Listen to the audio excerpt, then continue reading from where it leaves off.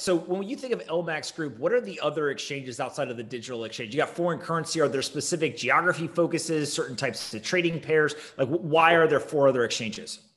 Yeah, good question, actually. And I wonder whether that will translate into crypto going forward. So basically, we operate three exchanges in London, one in New York, one in Tokyo. So in FX specifically, you operate Nothing ever happens on trading desks anymore, by the way. It's all algorithmic. It's the silent assassin now, which are algos trading with each other. And typically, they're in data centers, like the one we call NY4, so the New York center, um, is actually in New Jersey, right? So the one in London is actually further outside West London, is in a place called Slough.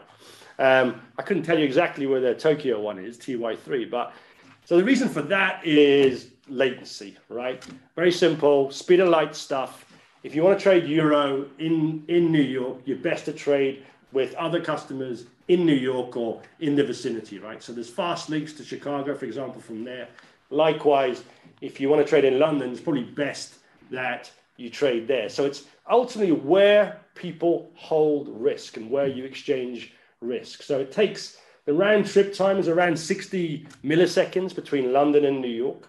So that speed matters in foreign exchange. And you hear a lot about HFTs, or we would call them non-banks or prop trading firms. So if you ever read ever read Flash Boys, you'll learn all about it. So I wonder how. So that's really the that's really how FX evolved. And I mean, I didn't invent that center. It's just those are where the risk centers are: London, New York, and Tokyo. I happen to think Singapore will probably take over as the Asian hub uh, a decade from now in in FX and you try and service those customers, most of the global players, so most of the major banks and prop trading firms will trade in all three centers.